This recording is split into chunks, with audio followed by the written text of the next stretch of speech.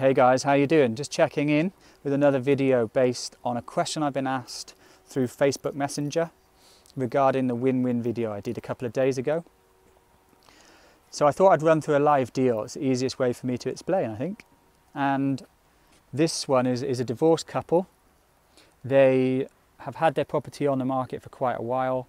The agent gave them a bogus valuation and it just put them in a really bad position, led them down a garden path.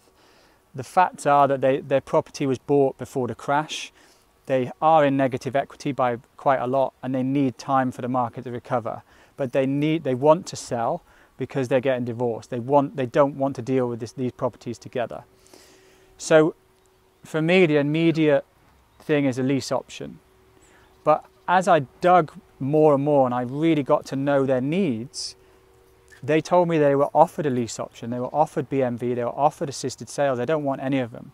Some of them don't work for obvious reasons, but the lease option didn't work.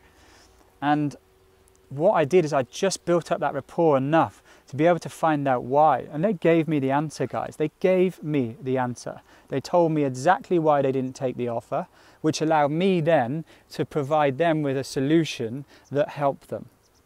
Now, I tweaked the terms of a lease option and it, it has basically changed the game completely. So, thinking outside the box and being creative is the most important thing. We are, we are creative property investors. We, we are there to give people solutions where maybe other people in the marketplace can't. And that is something that I found super powerful.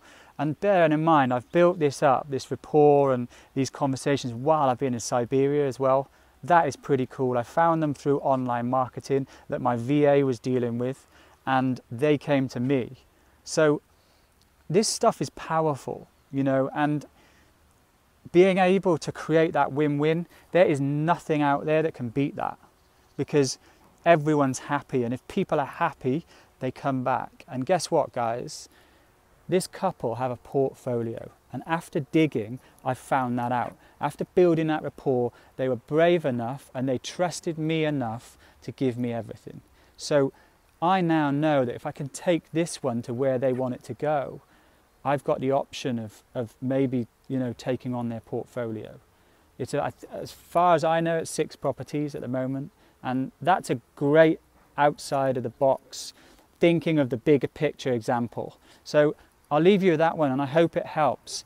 If you want to ask me any questions, please do Facebook or subscribe on YouTube. I'd love to love to hear your thoughts, guys. Take care. Over and out.